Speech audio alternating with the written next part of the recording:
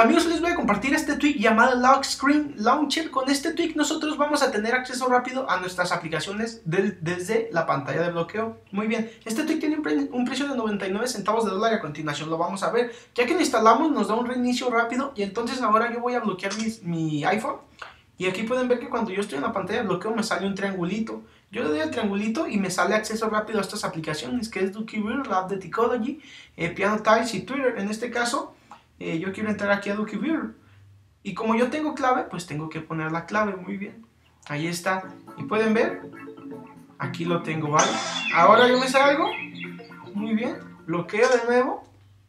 Y ahora quiero entrar a la app de Ticology, pongo mi clave. Si no tenemos clave, automáticamente nos la va a abrir sin pedir nada. Y ahí está. Y pues bueno, compa amigos, esto nos va a crear un menú de ajuste en donde nosotros vamos a ir y vamos a buscar aquí el Lock Screen Launcher muy bien, aquí nosotros vamos a seleccionar las aplicaciones que queremos. Podemos, eh, tenemos un límite de 9 aplicaciones y cuando las ponemos le damos respring.